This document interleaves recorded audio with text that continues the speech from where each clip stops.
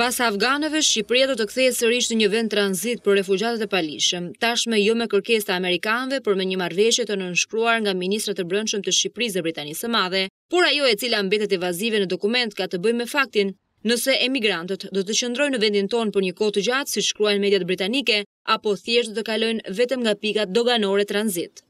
Dhe për problemin që ata kanë, një problem të madh social dhe politik, do duhet ta zbrazin duke i nxjerrë nga territori i tyre. Ku do i çojnë? Do i çojnë në Shqipëri.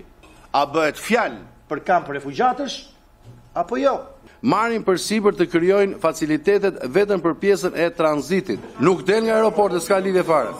Zëvendësministri i Brendshëm Andi Mahila, në Komisionin e Sigurisë për të shpjeguar marrëveshjen për pranimin e personave mes dy shteteve, u mbrojt me deklaratat e kryeministrit. Asaj që doli në median britanike i është kthyer përgjigje shteruese nga kryeministri i Republikës së Shqipërisë. Shpjegimi qeveritar nuk ka bindur deputetët e opozitës të cilët hodhën dyshime nëse kabineti i Ramës e ka pranuar këtë marrëveshje për të përfituar nga fondet që do të akordohen nga pala britanike. Kush e ka iniciuar lidhjen e kësaj marrëveshje? Është iniciuar nga pala britanike.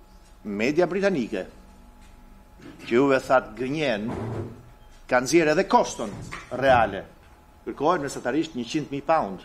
A mos ndoshta është duke u bërë ndonjë biznes në territorin shqiptar për të depozituar refugjatë me qëllim për të përfituar të gjitha shpenzimet. Ditën e martë kjo marrëveshje do diskutohet sërish në Komisionin e Sigurisë për të marrë përgjigje konkrete, nëse Shqipëria do të hapë dyert e shtëpisë për refugjatët e Britanisë.